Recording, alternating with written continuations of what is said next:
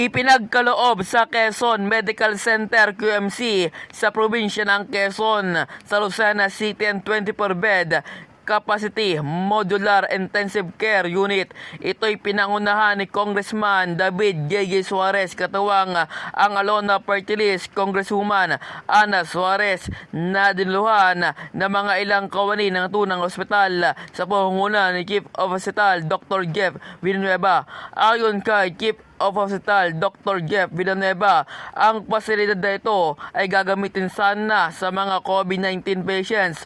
Subal sa ngayon ay less than 1% na lang ang positivity rate sa Quezon Province kaya gagamitin lamang ito pansamantala sa mga out of patients na tutungo dito. Sinabi naman ni Congressman David Suarez ang pondong ginamit sa pagbatayo ng bagong pasilidad ay mula sa pamalaang nasyonal na nagkakalaga ng 25 million pesos. Nagpapasalamat naman ang mga kawani ng QMC sa karagdagang pasilidad na siyang makatulong upang higit na matugunan pa ang pangailangang medikal ng mga mamayan ng probinsya. Martin Banaag para sa Radyo Agila, Matag, Matapang, Matapat.